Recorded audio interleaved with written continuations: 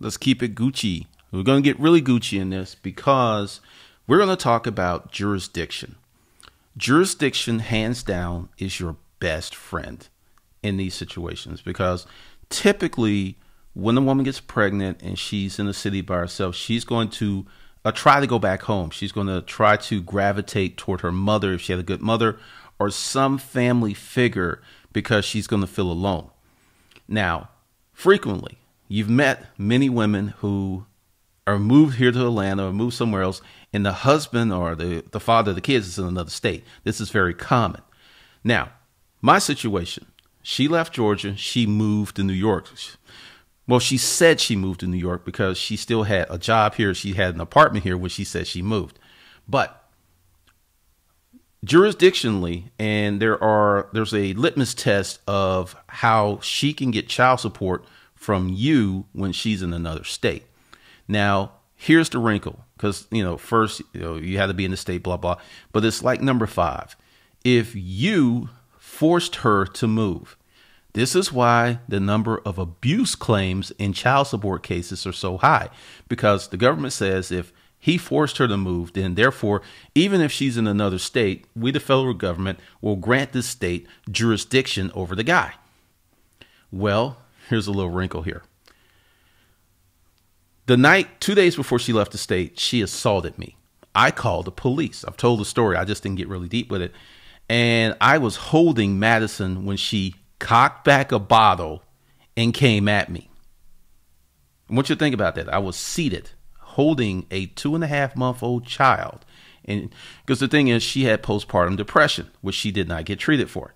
So I got her off me, one armed, holding the baby. Called 911 not once but twice to stay on the phone until they got there.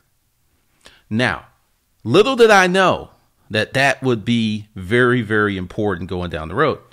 So let's fast forward to that point.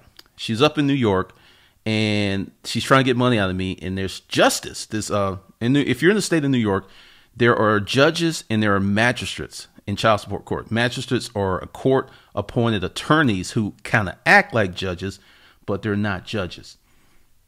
And we had this magistrate, right? And this is what this magistrate did.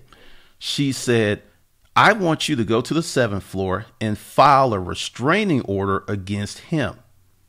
Now, what she did was she rendered legal advice from the bench.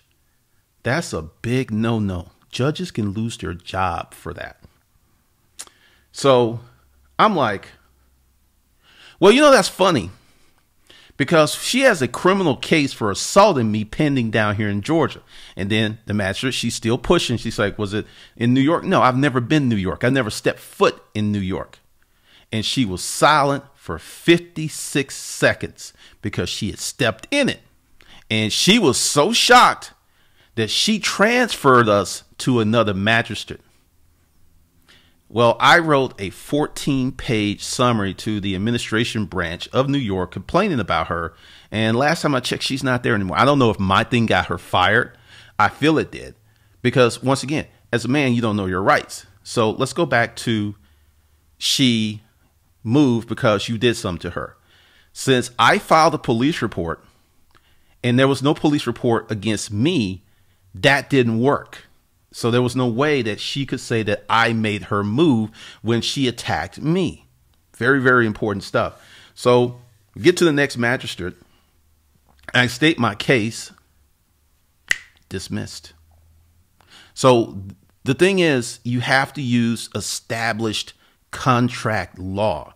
If you're trying to establish new case law, this can be very, very dicey. It can be very expensive, but a contract between two people that is equitable and fair is legally enforceable.